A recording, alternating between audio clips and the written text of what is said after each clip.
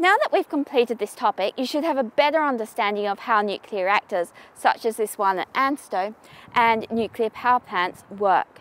Let's put everything we have covered together into one coherent picture.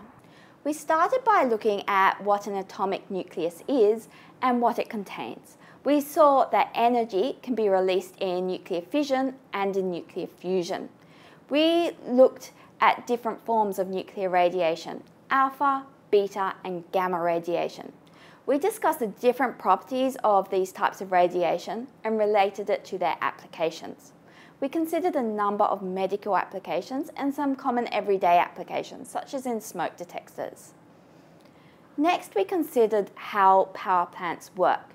We built upon your understanding of electromagnetism and introduced Faraday's law, which tells us how a changing magnetic flux can induce a voltage difference and hence a current in certain situations.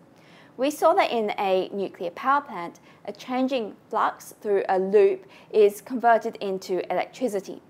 This changing flux is often produced by turning a turbine, which turns a loop of wire in a magnetic field. The turbine is often turned by rising steam. In a nuclear power plant, we saw that the heating comes from the nuclear fuel.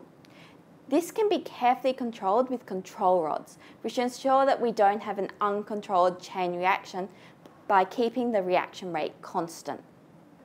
After that, we had a look at how we can get electricity from the power plant to our homes. We looked at the advantages of AC power with a transformer over DC power which can't be transformed.